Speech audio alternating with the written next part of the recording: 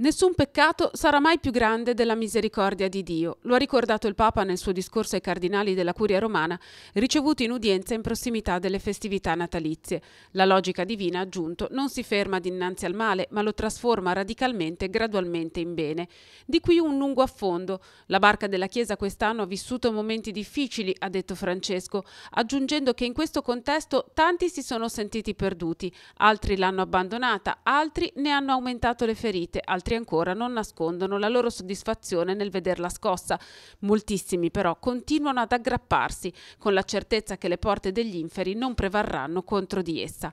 La Chiesa vive dunque affrontando il peccato interno, gli stessi consacrati che si comportano come padroni e non come beneficiari della salvezza, il dolore del mondo, la morte nelle migrazioni, le torture, la fame, l'ingiustizia e il male contro di sé nelle persecuzioni. E l'esempio eroico dei martiri e dei buoni samaritani non fa scordare la controtestimonianza e gli scandali di alcuni figli e ministri della Chiesa. Su questo il Papa si è soffermato a lungo, descrivendo la storia degli abusi commessi dal re Davide e commentando anche anche oggi ci sono uomini consacrati che abusano dei deboli, ministri che lacerano il corpo della Chiesa, tradiscono Dio, i suoi comandamenti, la propria vocazione, la Chiesa, il popolo di Dio e la fiducia dei piccoli e dei loro familiari.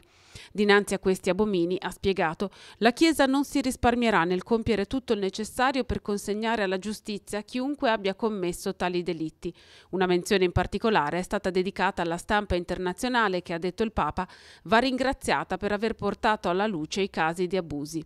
Ma tutti i peccati commessi da alcuni figli della Chiesa non potranno mai oscurare la bellezza del suo volto, ha aggiunto il Papa, ricordando che il Natale dà la certezza che la vera forza della Chiesa sta nello Spirito Santo che la guida e la protegge, trasformando i peccati in occasioni di perdono, le cadute in occasioni di rinnovamento, il male in occasione di purificazione e vittoria. Fra le gioie dell'anno che sta per concludersi, il Papa ha ricordato il sinodo sui giovani, i passi compiuti nella riforma della curia, i nuovi beati e santi, la santità della porta accanto, i fedeli che ricevendo il battesimo rinnovano la giovinezza della Chiesa, la testimonianza delle famiglie, dei genitori, dei giovani che scelgono la vita consacrata e il sacerdozio, dei consacrati che vivono la loro vocazione in fedeltà e di numerosi parroci che offrono ogni giorno il buon esempio al popolo di Dio. La forza di qualsiasi istituzione non risiede nell'essere composta da uomini perfetti, ha ribadito il Papa, ma nella sua volontà di purificarsi continuamente. Il Natale dona ogni anno la certezza che la luce di Dio continuerà a brillare nonostante la miseria umana,